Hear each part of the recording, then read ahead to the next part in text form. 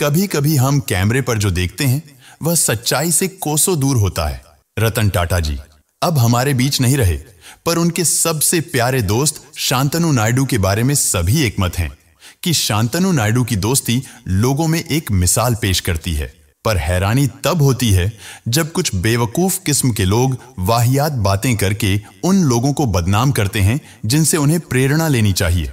दरअसल बात यह है कि रतन टाटा जी अपने पीछे हज़ारों करोड़ की संपत्ति छोड़ गए हैं।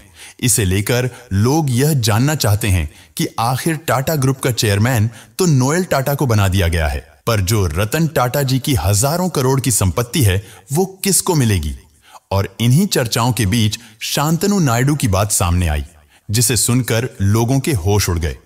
और यह भी सच सामने आया कि लोग कुछ पैसों के लिए कितने नीचे गिर सकते हैं। इस वीडियो को देखकर आप समझ पाएँगे कि लोग चंद पैसों के चक्कर में अपना जमीर बेचने को तैयार हो जाते हैं। लेकिन उससे पहले वीडियो में हम आगे बढ़े। अगर आप भी मानते हैं कि रतन टाटा जी एक महान इंसान थे तो कमेंट में अपनी इच्छा से उनके लिए दो शब्द ज़रूर लिखें। साथ ही हमें सपोर्ट करने के लिए चैनल को भी ज़रूर से सब्सक्राइब कर लीजिए। दोस्तों, इससे पहले कि हम उस बात को आपको बताएँ, आप उसे तभी समझ पाएँगे जब एक सिरे से यह वीडियो देखेंगे, इसलिए वीडियो को अंत तक ज़रूर देखें। जैसा आप सब जानते हैं कि शांतनु हमेशा से सर रतन टाटा के करीब रहे उनकी सेवा की बात शुरू हुई एक किताब से जो शांतनु ने लिखी है। किताब का नाम है, मैं एक लाइट हाउस पर पहुँचा। एक छोटी आत्मकथा जीवन के साथ, रतन टाटा के साथ, शांतनु नायडू ने अपनी किताब में अपने गुरु रतन टाटा को अंतर्मुखी बताया। नायडू न केवल टाटा के सहायक थे बल्कि उनके करीबी विश्वास पात्र और दाहिने हाथ थे। शांतनु नायडू सर रतन टाटा के अंतिम संस्कार के बाद काफ़ी भावुक नज़र आए थे।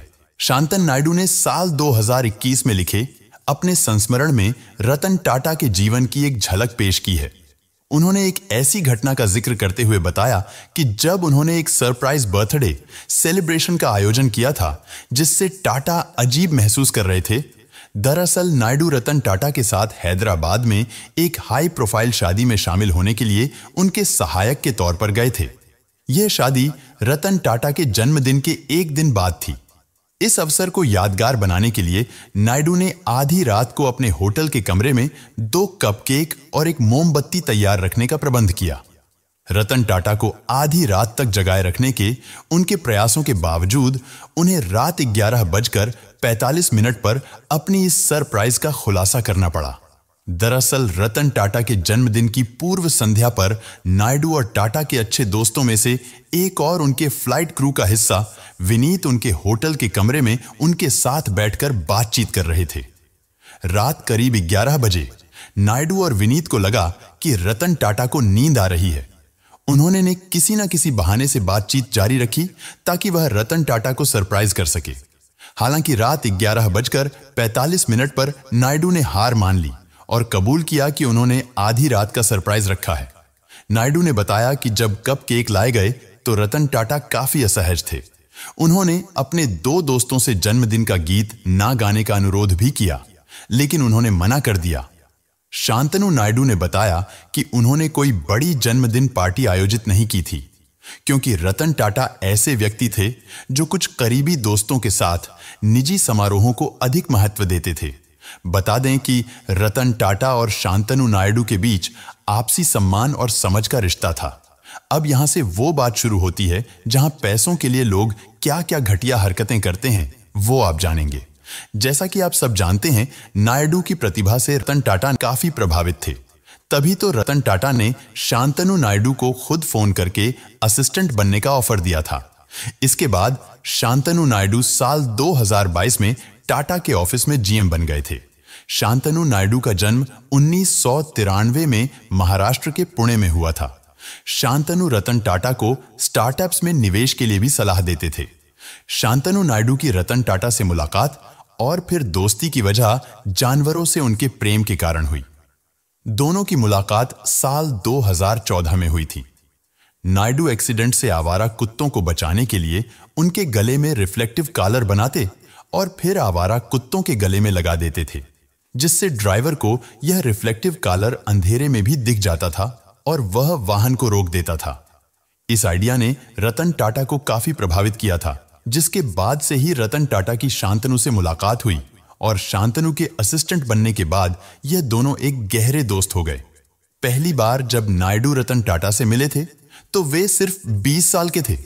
नौकरी के अलावा शांतनु गुड फेलो स्टार्टअप के मालिक भी हैं। यह कंपनी सीनियर सिटीजन को कंप्रिहेंसिव सपोर्ट प्रोवाइड कराती है। ऐसा कहा जाता है कि इस कंपनी का वैल्यू करीब पाँच करोड़ है। वे एक फ़ेमस भारतीय businessman engineer junior assistant DGM social media influence लेखक और एंटरप्रेन्योर हैं। पशु प्रेम और समाज सेवा का भाव मन में रखने वाले शांतन ने मोटोपोज नाम की संस्था बनाई है, जो सड़कों पर घूमने वाले कुत्तों की मदद करती है। नायडू के नेतृत्व में मोटोपोज ने सत्तरह शहरों में विस्तार किया और आठ महीनों में 250 कर्मचारियों को काम पर रखा है। पर जब बात पैसों की आती है तो लोग यह जानना चाहते हैं कि नोएल टाटा टाटा ग्रुप चला सकते हैं। यह तो ठीक है पर रतन टाटा के लगभग 3,800 करोड़ किसको मिलेंगे? यह जानने के लिए आपको यह समझना होगा।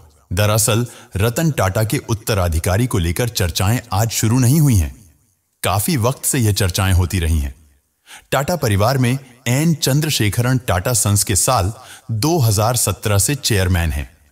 उनके अलावा टाटा ग्रुप की अलग अलग कंपनियों से ऐसे बहुत से लोग हैं जो भविष्य में टाटा समूह में अलग अलग ज़िम्मेदारी निभाते नज़र आ सकते हैं। रतन टाटा के बाद टाटा ग्रुप कौन चलाएगा? सोशल मीडिया पर यह सवाल सबसे ज़्यादा पूछा जा रहा है।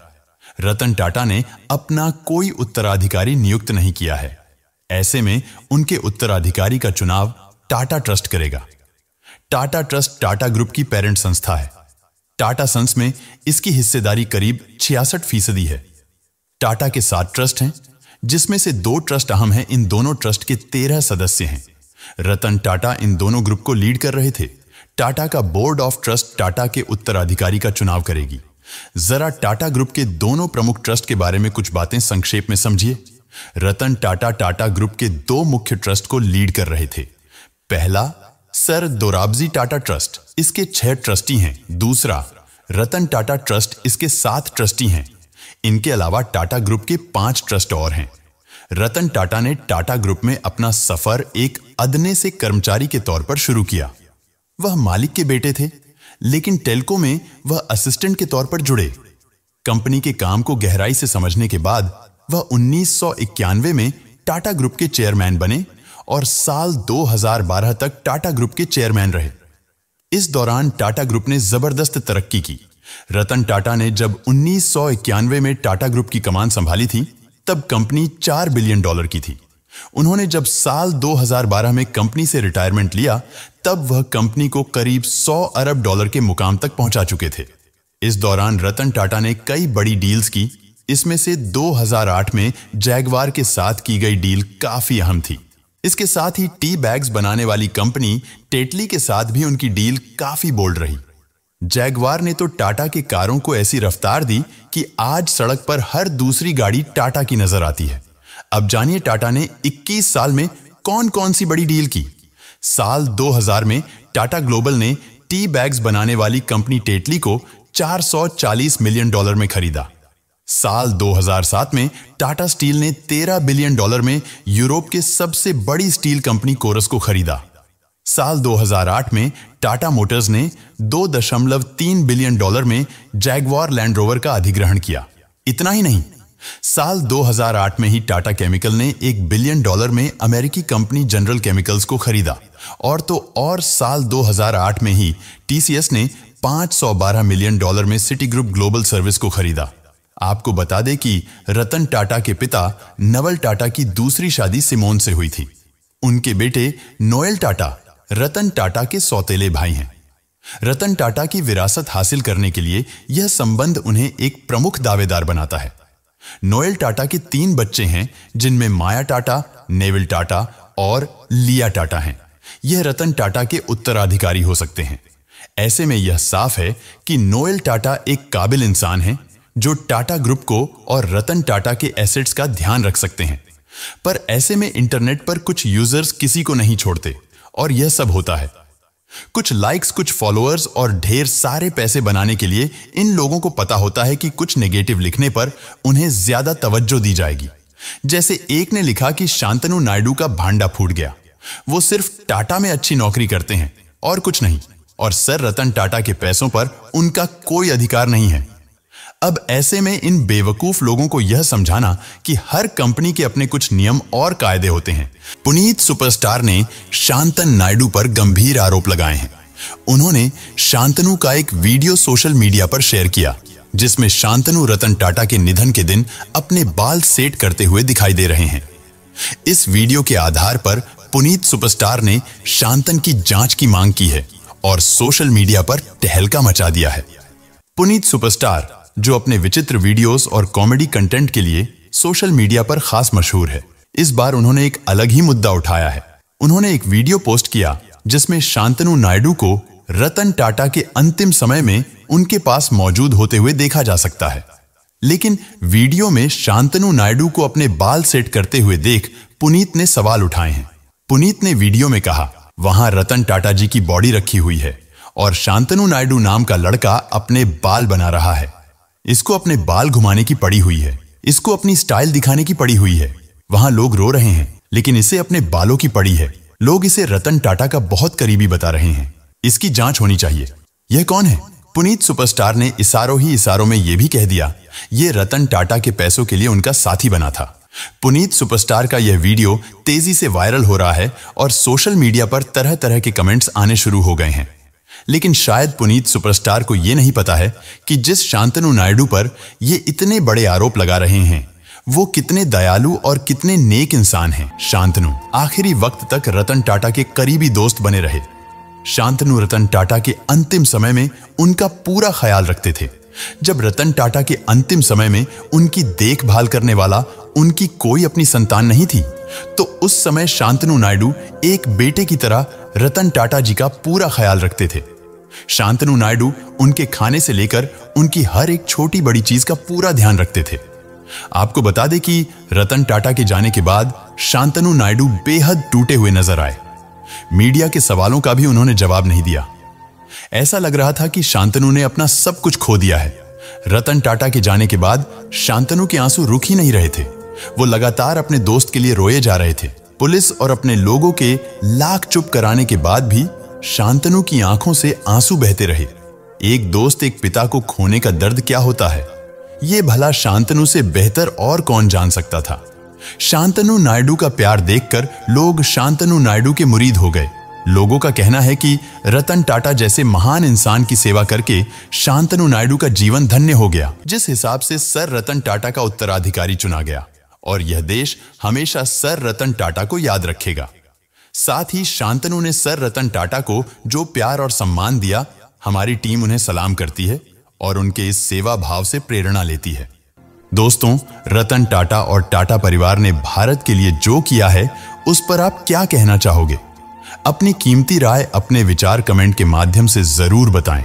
साथ ही हमारी मेहनत के लिए चैनल को भी ज़रूर से सब्सक्राइब कर लें।